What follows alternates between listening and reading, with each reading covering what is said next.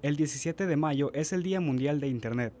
Las organizaciones salvadoreñas SBNet y Conexión organizaron la celebración por undécima vez en El Salvador.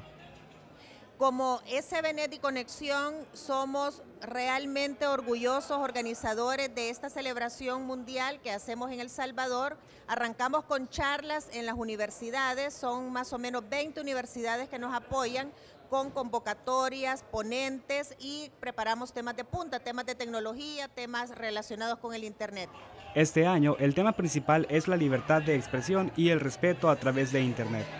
¿Qué queremos decir con esto? El mensaje es Internet es un medio magnífico para eh, difundir, para transmitir nuestras opiniones, nuestros eh, incluso descontentos, pero también nuestras creaciones. Ahí tenemos influenciadores, tenemos youtubers, tenemos blogueros, tuiteros que difunden y hacen partícipe a la comunidad de su opinión, de sus ideas, de sus experiencias. Pero todo debemos hacerlo con respeto. Es un medio que afortunadamente la tecnología nos ha puesto al alcance y esperamos que cada vez más salvadoreños se conecten a Internet, pero debemos ser respetuosos, debemos ser responsables con lo que hacemos. Hay que tener prudencia, hay que tener eh, cuidado y sobre todo respeto y responsabilidad para que hagamos uso de esta herramienta. Rafael Ibarra, organizador del evento y mejor conocido como Lito o el padre del Internet en el país, convocó a youtubers de Colombia y El Salvador a dar una charla sobre la influencia de las personalidades de Internet en la sociedad moderna.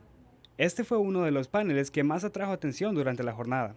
Hola, ¿qué tal? ¿Cómo están todos? Mi nombre es Brian Mantilla, el Brian en todas las redes sociales. Vengo desde Colombia, aquí al foro de la Internet, del Día Mundial de la Internet. Estoy aquí hablando del tema del influenciador en este mundo del Internet, que es muy importante tener la responsabilidad del contenido. Y nada, feliz de acá de Salvador, de las pupusas, amé las pupusas. Un saludo muy especial a todos los creadores de las pupusas. En serio, gracias. Al evento asistieron estudiantes universitarios que degustaron las actividades y demostraciones tecnológicas durante la LAN Party, que fue un espacio para videojuegos, realidad virtual y robótica.